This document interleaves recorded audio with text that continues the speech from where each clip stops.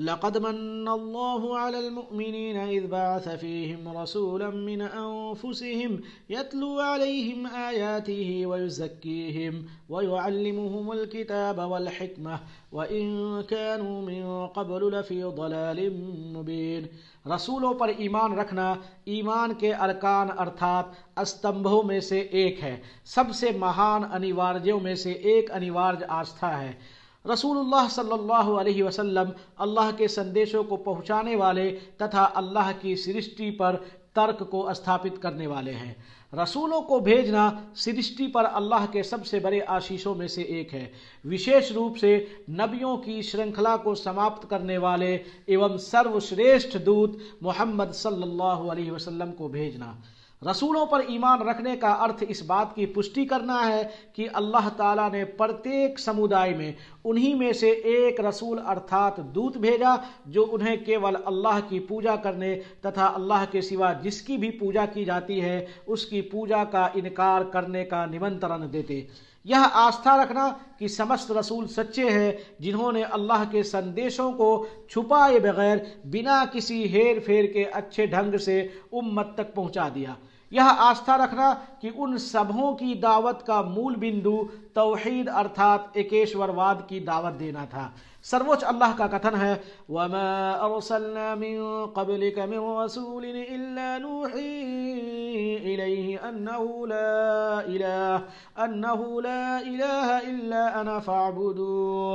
جہاں تک شریعتوں و دھارمک ودھانوں ایوم احکام ارتھات دھارمک آدیشوں کا سمبند ہے، تو وہ ان میں بھن ہیں۔ اللہ تعالیٰ کے اس کتھن کے آدھار پر لیکن جَعَلْنَا مِنْكُمْ وَمِنْهَاجًا یا آستہ رکھنا کہ جو ان میں سے کسی ایک کا انکار کرے گا، اس نے سبھی رسولوں کا انکار کیا۔ سروچ اللہ کا فرمان ہے، کذبت قوم نوح المرسلین یہاں اللہ تعالیٰ نے کہا ہے کہ نوح علیہ السلام کے سمودائے کے لوگوں نے سمست رسولوں کو جھٹلایا، جبکہ اس سمے نوح علیہ السلام کے سوا کوئی اور نبی وہاں نہیں تھے۔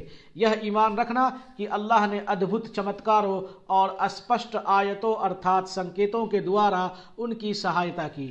ان کے دوارا دی گئی جو سوچنا صحیح سند کے ساتھ پرمانت ہو، اس کی پشٹی کرنا۔ یہ ایمان رکھنا کہ نبیوں کی شرنکھلا کو سماپت کرنے والے انتم نبی محمد صلی اللہ علیہ وسلم ہے اتہ، آپ کے بعد اب کوئی نبی نہیں آنے والا۔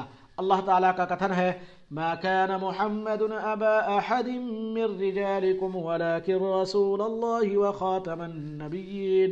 یہ آستھا رکھنا کہ اللہ کے نکٹ ان کے استھان میں بھنتا ہے، تتھا ان میں سروشریشٹھ محمد صلی اللہ علیہ وسلم ہے۔ رسولوں پر ایمان رکھنے کے انیک لابھ ہے، جن میں سے کچھ یہ ہیں۔ اللہ تعالیٰ کی دیا ایوم اپنی سرشٹی کا دھیان رکھنے کا گیان ہونا، کیونکہ اسی نے لوگوں کی اور ان کے مارگ درشن ایوم ہدایت ہدایت کے لیے سمانت رسولوں کو بھیجا۔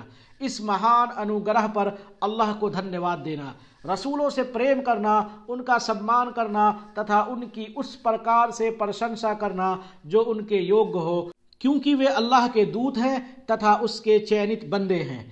سروچ اللہ کی شکتی اپنی سرشٹی میں سے کسی کو پسند کر کے، اسے چن لینے تتھا ان میں کچھ کو دوسروں پر اللہ دوارا وریتا دینے کا گیان۔ جس چیز کو لے کر وہ آئے تھے دردھتا کے ساتھ اس کو تھامنا، کیونکہ اس لوک اور پرلوک کے سکھ کی اور لے جانے والا مارگ کیول وہی ہے۔